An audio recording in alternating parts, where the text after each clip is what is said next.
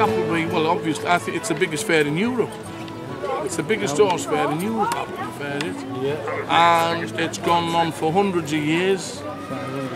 500 years it's gone Yeah. on for.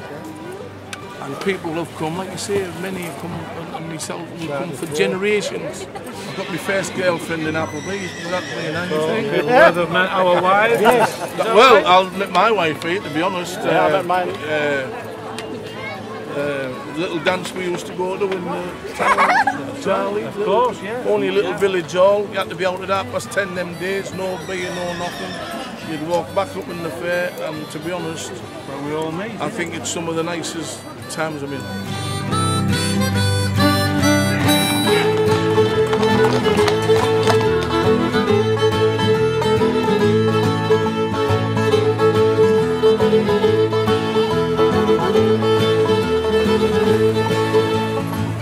been coming down here for about four years or something and the horses get brought down into the water because they get washed and um, we just have a go of them and see what they're like and then if you like them you buy them and if you don't you just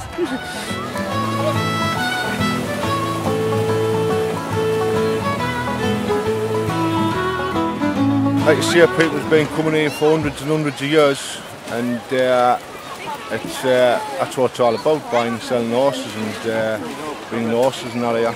There's thousands of people come down, you know what I mean?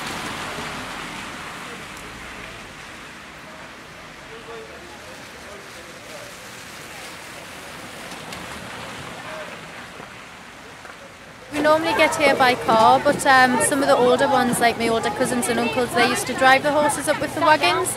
Um, people still do that. A lot of people I've spoke to here drove up with the horse and carts. Um, takes about four days to get here from South Shields, though, but it's the way of life of some people. I mean, from Appleby, they move on to the next horse fair, and that's how they live. I think now people tend to have cars and motorbikes and horses are sort of dying out but uh, no if you've grown up around them it's alright alright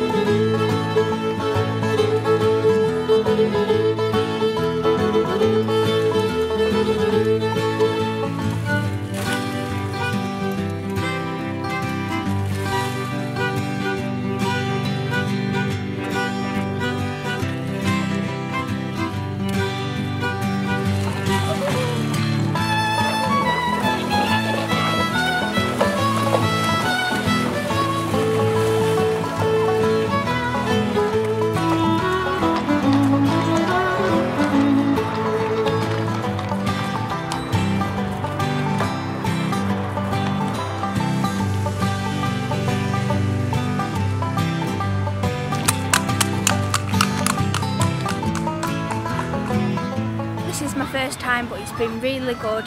Good experience. Meeting people, seeing loads of horses, watching all the horses, you know, it's been really good. Um, all the stalls have been great, buying things. It's been a fantastic experience and I will definitely come again.